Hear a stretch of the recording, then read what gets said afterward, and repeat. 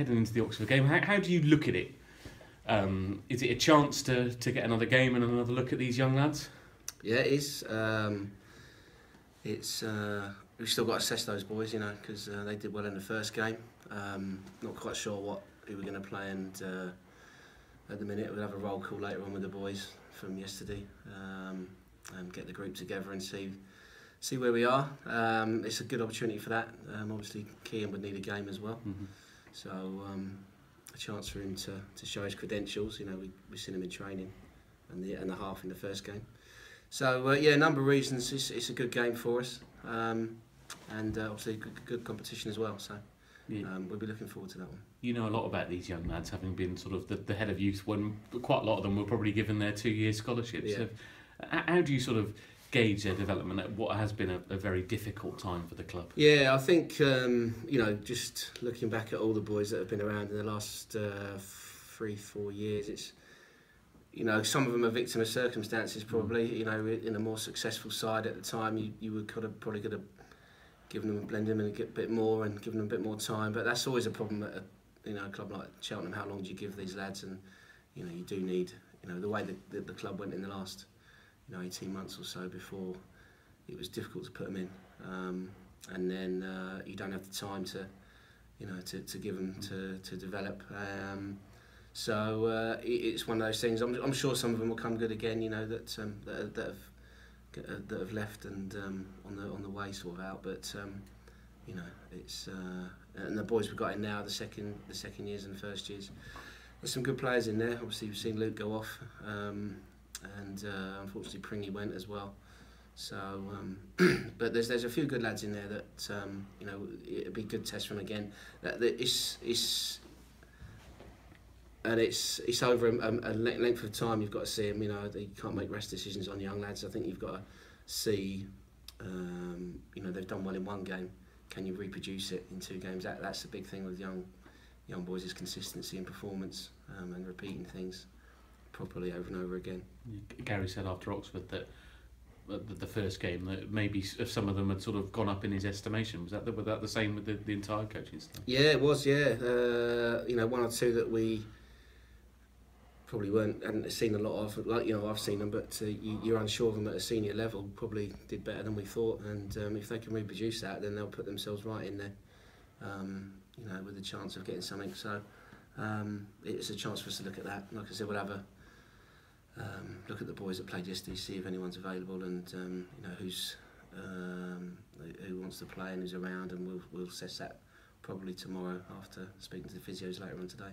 Yeah, obviously the chance to play in an adult competition against grizzled old pros is probably something that is a bit of a luxury and, and perhaps does give you more of an idea about these young Yeah, lads earlier on. yeah, it tests them. You know, I, I think it's physical, mental, um, concentration levels, um, taking on instruction. You know, it's all those sort of things that uh, you know they've got to be because at, at, at youth level, twenty ones, whatever, you can you can sort of semi get away with it, and it's not too costly for you. It's seen as development, and whereas here it's not. You know, it's, it's uh, win or bust really. Yeah, the, the FA Trophy is a competition that that has its pros and, and cons at this, this time. You, you- you've probably seen both with, with Cheltenham as Yeah. as a player winning it and, and, and, and, and now, when it's almost not in the way, but it's it's it's very much a second fiddle thing. No, is, that, is that a good thing for football that these a, things happen? It's just the way it is. It, what, how else can they? I, you know, I've been looking at how else can the National League run? You know, organise yeah. it really. It's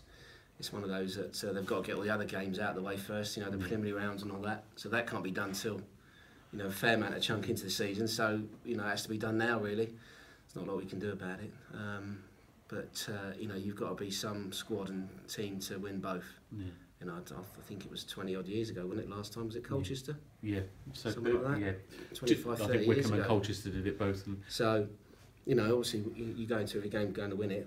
Um, so we'll see see where it takes us. And uh, you know, we won it um, 98. yeah, Am I right? Yeah, 97, 98. It was my first year, here. and then uh, semi-finals won it to Kingstonian the the year after. So we gave it a good shot then. Um, obviously went up that second year. So, but it's good competition, and um, you know, there's always that for every non-league player, and Mm. there's that prize of a Wembley appearance. Do you remember that Tuesday, Thursday, Saturday that, that was Yeah. forced on by that? How, how difficult Yeah. was that to play? Well, uh, it, yeah, it was difficult. It stretches the squad. Um, you've got to, again, you've got to be fit and mentally and physically and look after yourselves. And I think that was instilled into us, and it's you know the same as this group now. It's instilled into them. Um, number of ways you can do that. But um, I think we won the game. We won the league with three or four games to go, didn't we? So Mm. the last sort of week and a half, two weeks, we were, you know, we were okay. Although you were done. yeah, we didn't. St- In we say more we, ways put- than one. we took our foot off the pedals. But, you know, I remember Steve saying to us, "You can do what you like when you're in the league," and we thought, "Okay," but we couldn't, even though we did. yeah. So um, I think we lost. Did we lose the last two? Uh, I think drew, Drew lost, lost two, two, drew drew, one, one, yeah. yeah. So um, you know, and uh, I remember him. He spoke to um, a- another manager, and they said, "Well, what can you do? You know, Yeah. you, you've you've you've set out what you set out to do, and that's what happened." So uh, you know, but uh, no, good times, and um, you know, we're looking back, looking, you know, looking forward to tomorrow. We'll we'll be giving it our best shot to to get through. It's funny. What was the mood like yesterday after after that? Had, that quite sunk in with everybody? What happened in those Ah. crazy last few minutes? I know it was. Um, it was just the way our season's gone, really. You know, we, we seem to pull things out when not expected. Uh, the boys have got a, a great character to keep going and um, determination and spirit. You can see that. You know, we, um, it's. uh, You know, I, I don't know where it came from. Really, it was Mm. just one of those things, and you can see Dover tiring. Um, that they they've got a certain way of playing, um, and a couple of you know exceptional players. I think in in Dever Dixon what he does, and uh, Miller is a very good player. Uh, and they caused us problems, but um, you know you could see us. We didn't quite get things going until late on, uh, mid second half probably, Uh, and you could see them tiring. He's got a lot of big lads, who, you know, and uh, functional players, I would Mm. say. Um, and uh, we we managed to to keep at it, and a couple of things fell for us, didn't they? You know, dates come on and. You know, uh, as ill as he was, he managed to Mm. produce a little bit of spark that um, that, that- that got us uh, a couple of chances. Wright, he finished off his penalty and was there, you know, in the right place at the right time to um, to cap off, you know, a fantastic turnaround in the last, you know, five six minutes. A lot we've we've done a few times. So Mm. um, the, the game itself was poor, wasn't it?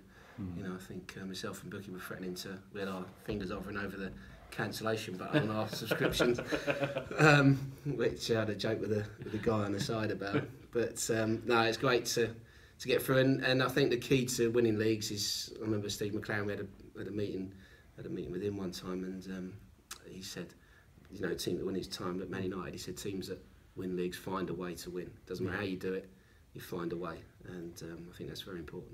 Yeah, obviously there's been a focus on trying to improve performances as, as such, but while I suppose you are ticking off the results, that cons- massive concern isn't there.